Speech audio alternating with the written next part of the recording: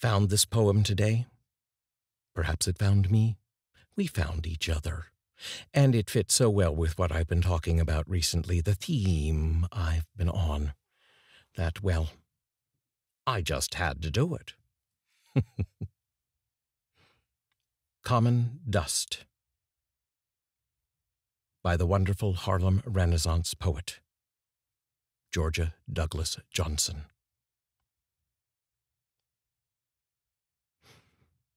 And who shall separate the dust, what later we shall be?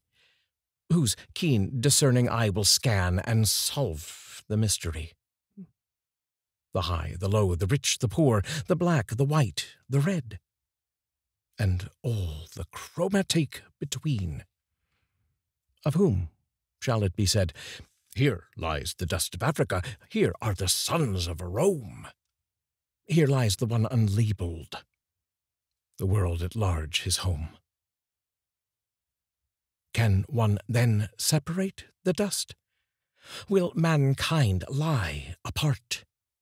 When life has settled back again the same as from the start.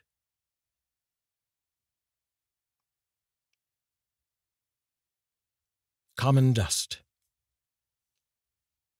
by Georgia Douglas Johnson.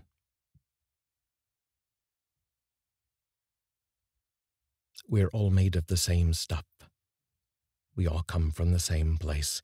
We all inhabit this marvelous creation. Why is that so hard?